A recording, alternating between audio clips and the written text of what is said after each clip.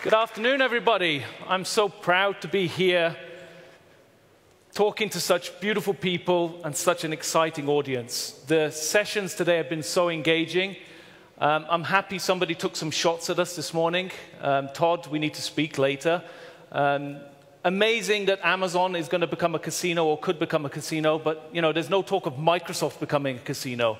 So, you know, get a few little disclaimers out of the way and uh, introduce myself.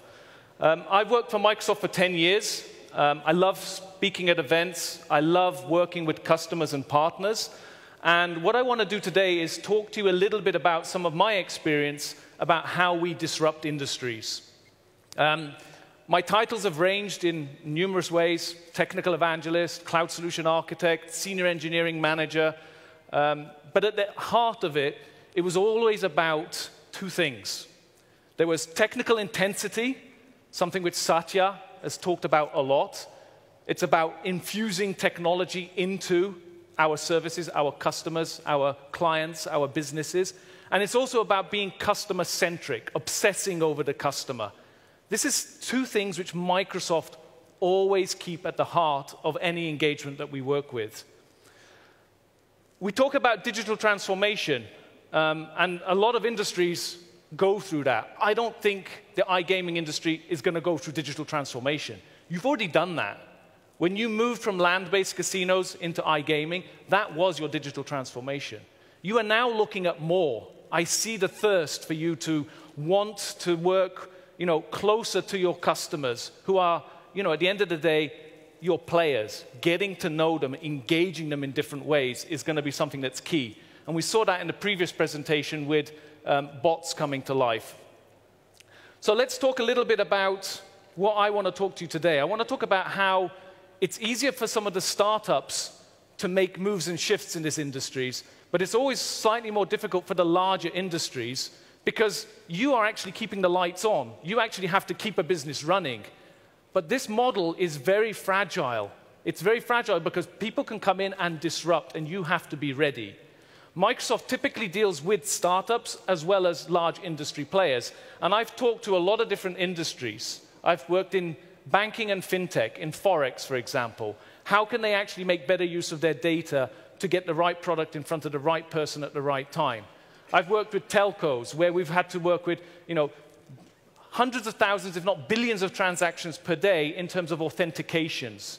So we know scale. That's something that we, you know, we actually love and work, work with on a daily basis. But an industry closer to your heart, rather than just banking and industries like telcos, is the esports and the gaming industry. Microsoft has played in this space for at least the last seven years. If anybody remembers the London Olympics, we streamed those Olympics to 30 million viewers over the internet. Later on, we came with Sochi and we engaged from the track or from the ski slopes, gathering that telemetry, building up that over the top experience to go along with streaming those games. So we know this industry. We've worked in this industry um, for a long time. We've done things with Formula One. We've taken telemetry of cars, streamed petabytes of data in a match from a single car up into the cloud, analyzed it, and got that insight back to the driver in real time. This is what we do. Okay, this is what we do in industries to disrupt those industries. I want to talk about disruptive innovation today because I think that's something that this industry that you know, we're looking at today could do with. We could do with some disruption, and we want it to come from, you know, from within the industry with the help of partners like Microsoft. I want Microsoft to be that partner that you turn to where you say, I can trust Microsoft because they've got the expertise. They're not just a tech company, they've got the expertise to boot as well. One of the favorite topics of mine is fan engagement. Okay, if you take Real Madrid, half a billion fans, we helped Real Madrid engage those fans to create a new revenue stream and a new market opportunity. We created a digital experience which tracks the fan making their purchases from the shop, watching videos online, going to the matches and buying tickets, all over different devices. We stitch all of that together and we created a new stream to get the right product in front of the right fan at the right time. That is custom obsession. That is technical intensity because we put the fan right at the center of the story. We take sports so seriously, we actually have a global center for sports. Okay, this innovation center in Spain deals with building up our Microsoft Sports development platform. It is a platform which is up and running and being used by La Liga. It's being used by other football clubs other than Real Madrid. And we also put people on the ground. So we have people on the ground in Spain, we have people on the ground in Malta. Microsoft Malta actually has iGaming experts ready to talk to you about your business and to start understanding how we can actually help you. And we also notice that a lot of innovation spills across industries. So what starts off as something cool in one industry might actually be even cooler in your industry. So I feel there is a huge opportunity for us to work together. And the good thing is we are not going to be your competitor, right? We are never going to be Microsoft Casino, okay? Um, I love the way you put up Amazon Casino, and I don't think there will be a Microsoft Casino. If you look at how we've transformed, we had to do a major transformation. I think it's fair to say we became cool again, right? Our stock price certainly shows it, right? I'm not driving a Ferrari yet, but my stock prices have gone up quite a bit, um, and I'm quite happy with what Satya is doing. But what did Satya actually do? He turned us from a 20 billion industry to a 74 billion industry, and he didn't do it overnight, but he did it very carefully and strategically. What he realized is that we had to change the way we see our competition. We embraced the competition. We took Kubernetes, we took Hadoop, we took open source, and we actually made them products that we could actually deliver as a managed service. We actually make it easier for you to consume these services so that you as operators, gaming operators, you don't have to actually focus on the tech, you can focus on the business. Now I understand tech is your bread and butter. You grew up knowing tech, and you still have that control, but only if you want it. So what we also do is we became the biggest OSS contributor. We actually pour more lines of code back into OSS than any other provider. Can you imagine that? 10 years ago, Microsoft being the largest OSS provider of source code. We make it a first class citizen. No longer is it the Microsoft that you have to come and learn Microsoft tools. You don't have to use Internet Explorer. You can use Chrome on top of your Android phone to access your Office 365 mail if you want. It's a different world. We've embraced the competition and we're hopefully leveraging that as much as we can. So, yes, let's talk a little bit about this industry that we're in and the changes that we're seeing. Every industry goes through a strategic inflection point. Andy Grove coined this term you know, right back in the 90s when he was at Intel. Your industry has gone through one inflection point, moving to iGaming, but the new inflection point is a do or die. You either keep on that curve, which goes down, or you jump onto a new wave of innovation and you make it work for you. Because you are going to bring a 10x disruption factor to your industry by what you are doing. You do need to change. In the beginning, people will tell you, hey, that's just hype. You know, that new thing you're messing around with, that AR, that new bot, it's just hype, it's immature, it's not ready. But you need to instill a culture in your company that allows for that experimentation. And this is what Microsoft allows you to do. It, it fosters that innovation, that experimental way of working.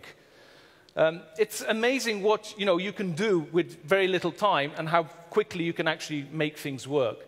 But you have to remember, cloud as an innovation factor, as something that's going to drive your business, has been around for a while. It's now like electricity.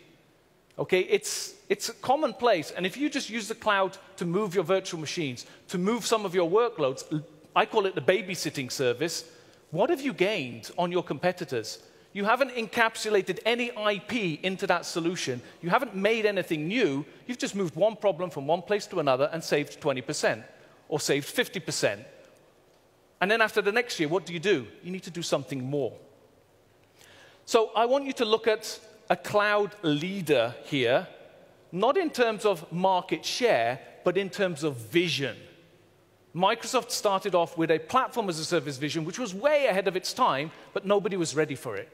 Face it, yes, Amazon is in front of us in terms of market share, but look at our vision. Look at what we are trying to do across the breadth of this space. What's good is the cloud is ready for prime time. It is something which you, know, you can leverage 54 data centers across the globe, and you can be in any country with much lower latency operating in that country through some of our data centers, of course, with the necessary agreements. I'm not a lawyer, okay? Um, I was fascinated by the lawyer session in the beginning. I tried really hard to concentrate and understand everything they were saying. Um, but at some point, I said, no, okay, I'm technical and business, but I, I don't want to be a lawyer. Um, no offense. So let's talk about hybrid. Hybrid allows you to move gracefully Nobody likes abrupt disruption. You'd like to disrupt your competitors, but you don't want to disrupt your business. Like I said, you've got to keep the lights on. And what better place to do that than in a hybrid manner? Microsoft has partners in Malta. Uh, BMIT will actually allow you to host on an Azure on premises solution in a hybrid manner. So that when you come to move that to the cloud, there's very little upskilling that needs to happen. It's the same Azure on premises as it is the same Azure in the cloud. Azure is our cloud product. So much so it was called Windows Azure. Now we call it Microsoft Azure because we took the Windows out of it because we don't host only Windows virtual machines. We host over 50% Linux virtual machines on our cloud platform. That's how much we're embracing the competition. So I hope you will agree we are a different Microsoft than when you walked into the room. I hope some of you take away and say, wow, I didn't realize Microsoft has changed that much. We also have to look at agility. Getting your products to market is something I've seen in every industry. Whether you're a telco trying to release a new service, whether you're a bank or a forex trying to do trading online, you want to get those services out to market quicker. And the cloud is all about agility. Whether it's cutting your code and checking it in in a you know, automated manner, or whether it's about getting servers stood up in you know fraction of the time that you did before it's all about automation. It's all about trying to get that agility. And of course with that will come disruption. So let's talk a little bit about customer experiences. I like to think that the data is the new fuel of your business. We all agree we're collecting vast amounts of data but are we doing anything with it how are we getting insight out of that data? Well, look at these different areas, and you'll notice that not one of them is focused on the technology. The technology is the enabler. The technology can help drive your business, but it is not your business. It's all about the people. It's all about the customers. It's all about you know, empowering your users not your end users, but your people inside the company, giving them the tools that they need in order to make decisions. Democratizing IT, we call it, making it accessible and available. It's also about making experiments cheap to run. In other words, you want to do something, but you don't want to spend a lot of time analyzing it. I love Todd's presentation where he talked about, you know, just get down and do it and brainstorm. The cloud allows you to do that. The cloud allows you to fail fast and fail cheap. It doesn't mean you have to spend a lot of time upfront thinking about the whys. It also allows you to do something different, for example. Can you build a different UX? Can you do something better? So, can you have more accuracy in your fraud detection or your analytics or your player's lifetime value? So, you, know, with the cloud, think of doing more or doing something different or doing something better because that's what it's there to enable you. Don't limit yourself. What I like to um, do with a lot of my customers is say, listen, whiteboard, white, blue sky thinking. Just don't limit yourself. Think of the art of the possible. And then let's give you the tools to actually go and do that. But let's also give you the, the consultancy. Let's pull in the partners. We have a lot of partners who have built fantastic machine learning models. They've operationalized them and put them on the cloud already. They're there for you to tweak. They have APIs. Sometimes there's this risk of, oh, it's strategic, I must build it myself. And this is what's going to cause a lot of arguments with me later on, I'm sure. So if anything you don't agree with, please come and talk to me. If there's anything I've said that resonates with you, please come and talk to me. I'm hoping to have a lot of people talk to me after this session. But like I said, if it's strategic and you have the resources, then yes, you can build it yourself. But if it's strategic and you don't have the resources, look at partners. Partners can help you. So let's analyze each of these pillars in concrete fashion now. Concrete examples which apply to the iGaming industry, which could be run on a Microsoft platform. I want to be concrete because You know, very often everything works in PowerPoint. I don't want to be that guy who says, you know, this is just PowerPoint. So, one of your chief concerns, and I'm sure everybody's concern, is responsible gambling. Imagine an AI which could sit with your player and actually help that player make a responsible judgment. Actually, be sitting there and say, you know, maybe you should self exclude and give that message at the right time in the right way because that AI has been trained on thousands and thousands of other users. Imagine AI helping you predict the player's lifetime value. Three days on your site, you're looking at the transactions. You're not looking at the player's demographics, you're looking at the way the player is playing, telemetry. You need to gather telemetry, and telemetry can be expensive when you gather a lot of data over a long period of time. But imagine gathering that data in the cloud, storing it in a data lake, and then being able to analyze or reason over it and come up with a player's predicted lifetime value. After three days, should I invest in this campaign? Should I market that particular product to them? All of that is possible and is very, very much doable. Connected to player lifetime value, of course, is also more accurate um, cost per acquisition.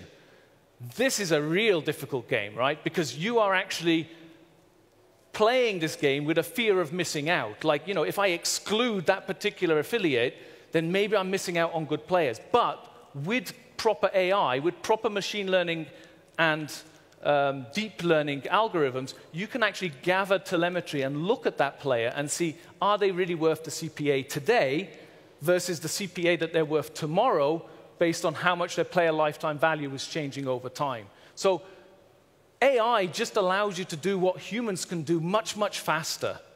Unfortunately, AI hasn't reached general artificial intelligence yet. What we see is narrow artificial intelligence. We see it given a particular task, it looks for you know, particular patterns on trained data, and you know, it works within that scope. Microsoft is investing a billion dollars in a company called OpenAI to actually help foster AI without bias, super important. There's nothing worse than AI with bias, especially if the machines take over. I'd hate to be the one that they bias against. And also to have general AI capabilities. In other words, near human capability of artificial intelligence. Of course, fraud detection, bonus manipulation, again, you name it, the number of possibilities where you can capture information and analyze that. And you can do it in a hybrid manner. The great thing is you can actually say, well, I want to do it on premises because my data cannot leave the country. I can create my machine learning model, and then I can export it into the cloud and actually run that in the cloud. Because you can move those workloads without having to retrain your people. A lot of the stuff you've already trained them in will still carry on working. There's the rise of bots. We saw a bot just a minute ago, not as fancy as the, the bot we built. Um, okay, this only took a weekend. It's a travel airline solution. Um, but literally a weekend to build a bot which incorporates sentiment analysis. So we have cognitive services, ready-made services where you send a picture and it'll tell you happy, sad. You send it some text and it says, oh, this sentiment sounds like this user's pissed off. All of those are ready made. Speech recognition, for example, it's on human parity level. We are leading in the cognitive services area, and we're making bots incredibly more powerful. There's different generations of bots. Okay, there are bots which can um, ask you Q&A. You see a lot of these bots nowadays. You go to any website, and it's basically like reading the frequently asked questions to you, and you, you know, you're asking questions and it's looking up Q&A. In fact, they're driven by static pages very often.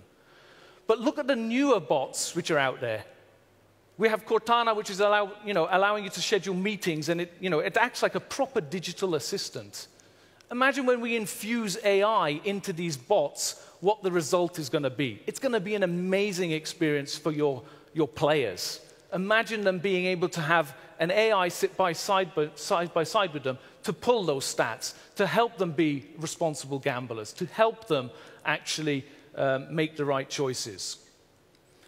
So, engaging customers, engaging fans, that is Microsoft's bread and butter. We love to engage our customers. If you look on the back side of things, or the back office side of things, look at how you, employ, how you empower your employees. We've worked with one of the leading game providers in Europe in the gaming industry to help create a better DevOps cycle. I know it sounds techy, it sounds boring, but what's the essence of this company's um, ethos? They wanted to be able to release their products in a more timely fashion because, like Fortnite, everybody's waiting for the next update.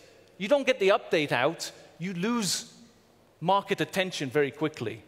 So they wanted to get their products out very, very quickly in a tried and tested environment, in an automated fashion, and they've got to move 150 products out into the cloud on time, in a regular manner, following regulations, etc., etc., etc. So they turned to us to help them. We actually helped them as part of my uh, senior um, engineering manager role. We took them on board and we onboarded them to Azure in a couple of weeks. That's how little time it actually took them. And we didn't tell them to change their code. We just said, listen, we can help you with this. We'll build the pipelines. We'll actually move your stuff, and we'll put proper DevOps in place. Of course, there's democratization of IT. Things like the Power Platform. Imagine giving your accountants, your, um, anybody in the company, the ability to write programs, to be able to take data, which is stored, and interpret it they could use Power BI, but it's much cooler if they can actually build a little app. We have a Power Platform which allows you to do that, democratizing IT, as I said before. And lastly, let's have a look at transforming your product. Todd did mention AI, augmented reality. We've done some great things with augmented reality. I think augmented reality is the way forward. Um, HoloLens is a great product, which is just getting better and better, and it will get cheaper and it'll get more, you know, more uh, mainstream as we go forwards. But imagine taking your clients to a virtual world where they feel they're in Vegas, where they feel the roulette wheel is actually spinning on their coffee table. Creating AR experiences will engage your customer in a new way. Creating new customer experiences where, through AI, you are offering them the right game at the right time in the right place. Statistics show that the top game in the list of top played games is typically not the game they play the most because you need to understand your customer. You need to engage them differently. You need to make those UIs super intuitive to understand what it is that the customer wants. Just because there's a golfing tournament on doesn't mean I put a golfing click link so that they can actually go and you know, do some, some gambling on golf. I mean, they're probably not interested in golf. So we, have got to be smart about the way we um, advertise to our users. I don't have a call to action. Um, it's super, super important that you think about partnering in this industry. I'm sure this is something that comes natural to you, but think of partnering with Microsoft because we are somebody you can trust. You can trust us with your data. You can trust us to bring you the right partners. We've got feet on the ground who actually you know, understand your industry. We are working in your industry where we want to actually make progress by bringing you some of the great solutions that we've already built from some similar industries. What we've done for fintech, for example, what we've done in Forex, we can bring all of that goodness to you. We are not just a tech company or a tech uh, partner of yours, we are a business partner as well. So I want you to consider working with us. Um, there's some names over here where you can actually make local contact. Adrian is actually here today and he'll be on the booth later on. So please reach out to him. And please start your digital journey as soon as possible. Learn to experiment. If you're a manager, instill some culture where people can experiment, where they can make mistakes. It is all about getting past those failures to get to that successful outcome. And working with us, working with your partners, that is something that can be very, very possible. So, with that, I'd like to say thank you very much. I hope you enjoyed the session. Please come and give me your questions, and please reach out to Microsoft. Thank you very much.